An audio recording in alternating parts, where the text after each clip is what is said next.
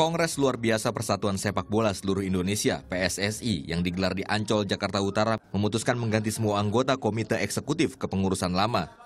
91 dari 105 pemilik suara menyetujui penggantian tersebut. Hinca Panjaitan ditunjuk sebagai pelaksana tugas Ketua PSSI hingga Kongres berikutnya. Pemilihan anggota eksekutif yang baru akan digelar bersamaan dengan pemilihan ketua dan wakil ketua dalam Kongres biasa Oktober mendatang. Tadi diputuskan saya diminta menjadi pelaksana tugas sampai selesai kongres ini. Bersama teman-teman ini kami hantarkan kongres pemilihan 17 Oktober 2016 dengan baik dan berkualitas.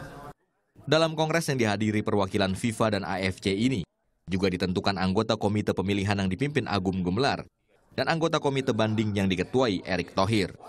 Persiapan KLB tentang pemilihan ketua umum pada tanggal 17 Oktober 2016 sebenarnya bukan waktu yang ideal karena persiapan yang ideal menurut FIFA adalah 6 bulan sehingga PSSI harus bekerja keras karena hanya punya waktu 10 minggu untuk menyegarkan pemilihan. Fahri Mahar, Usana Bayu melaporkan untuk NET.